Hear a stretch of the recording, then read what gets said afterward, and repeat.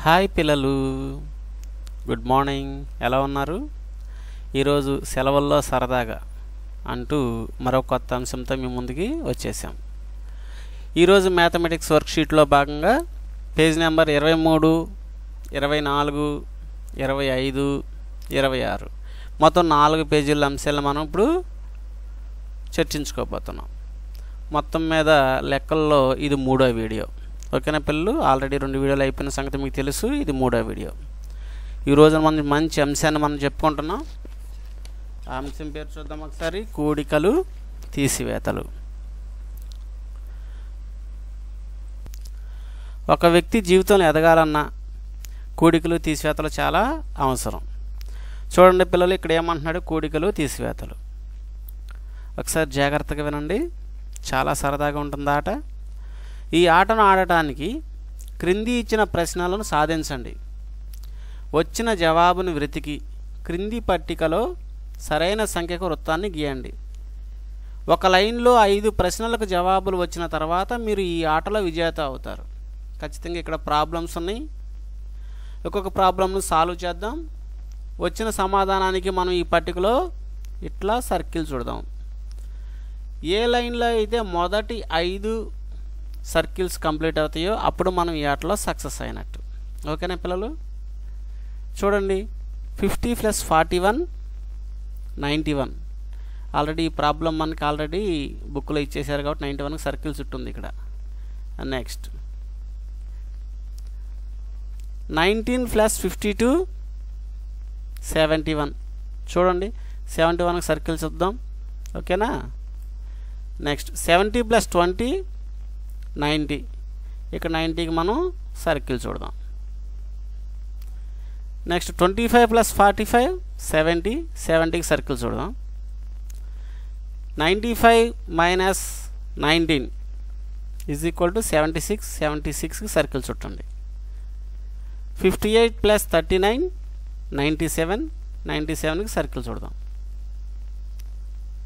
Twenty five plus twenty six is equal to fifty one fifty వన్కి circle చూడదాం. ఓకేనా?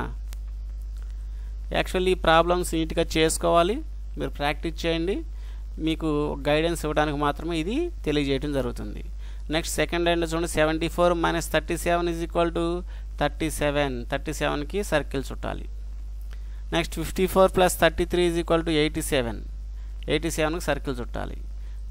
ఫిఫ్ seventeen plus sixty eight is equal to eighty five eighty ఫైవ్కి circle చుట్టాలి. Ninety two plus twenty nine is equal to sixty three sixty త్రీకి circle చుట్టాలి.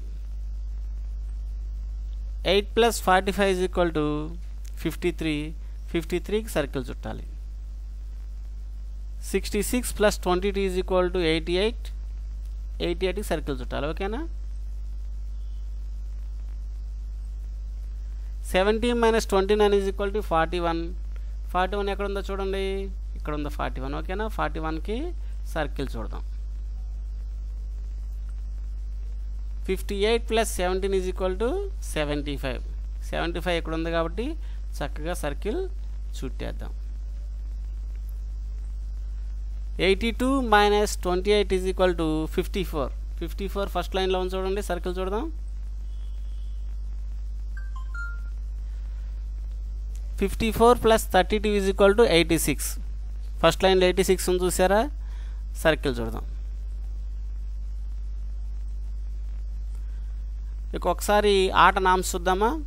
ఒక లైన్లో ఐదు ప్రశ్నలకు జవాబులు వచ్చిన తర్వాత మీరు ఈ ఆటలో విజేతలు అవుతారు. ఈ చూడండి ఈ ఫస్ట్ లైన్లో మొదటి ఐదు సర్కిల్ చుట్టేసాం. అంటే మనం ఈ ఆట గెలిచేసామన్నమాట మిగిలిన ప్రాబ్లమ్స్ చేయకపోయినా ఏమీ అవ్వదు. అయితే మనం లెక్కలు ఎంత బాగా చేస్తే అంత ఆనందాన్ని పొందుతాం కాబట్టి మిగిలినవి కూడా మనం సాల్వ్ చేసేద్దాం. Eighty four minus eighteen is equal to sixty six sixty six ఎక్కడ ఉంది? ఇక్కడ ఉంది కాబట్టి రౌండ్ చేద్దాం దీన్ని. ఓకే పిల్లలు ఈ విధంగా సమాధానాలు మీరు కొనసాగించండి. తర్వాత ఒక మంచి ఒక గేమ్ అందమైన గేమ్లోకి మళ్ళీ వద్దాం. ఓకేనా పిల్లలు? నెక్స్ట్ పేజ్ తీయండి. తీసివేత గొలుసు. మనకి ఇప్పటివరకు బంగారపు గొలుసులు వెండి గొలుసులు మాత్రం తెలుసు. కానీ తీసివేత గొలుసు చాలా ఎంజాయ్ చేయొచ్చు మనం. చూడండి. క్రింది ఇచ్చిన ఖాళీల గడులను పూరించండి. Twenty seven minus fourteen is equal to dash empty box ఇచ్చాడు. ఈ ఆన్సర్ని మనం పూరించాలి. ఇక్కడ twenty seven minus fifteen is equal to dash ఈ సమాధానం మనం పూరించాలి. అర్థమైంది కదా? నెక్స్ట్ పేజీలో దీన్ని చక్కగా ప్రాబ్లం సాల్వ్ చేద్దాం. తీసివేత గొలుసు మీకు ఈజీగా గుర్తుండటానికి ఈ విధంగా పెద్దగా చేసి చూపించడం జరుగుతుంది. So twenty seven minus fourteen twenty seven minus fourteen తీసివేస్తే పదమూడు ఆన్సర్ పదమూడు వచ్చింది ఇక్కడ.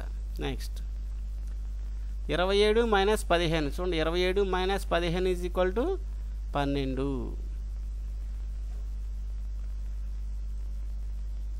పదిహేను మైనస్ మూడు. పదిహేను మైనస్ మూడు. వాస్తవానికి పదిహేనులోంచి ఇక్కడ ఉన్న సంఖ్యను తీసివేస్తే మూడు వస్తుంది.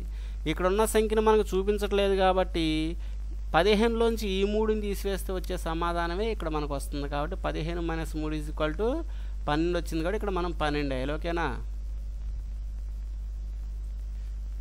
ముప్పై ఒకటి మైనస్ పది. ముప్పై ఒకటి మైనస్ పది ఈజ్ ఈక్వల్ టు ఇక్కడ ఎంత ఉంది? ఇరవై ఒకటి. ఇక్కడ మనకి ఇరవై ఒకటి వస్తుంది. ముప్పై మూడు మైనస్ పద్నాలుగు ఈజ్ ఈక్వల్ టు ముప్పై మూడు మైనస్ పద్నాలుగు ఈజ్ ఈక్వల్ టు పంతొమ్మిది. చూడండి ఇక్కడ రెడీగా ఉంది వచ్చేటకి. Very good.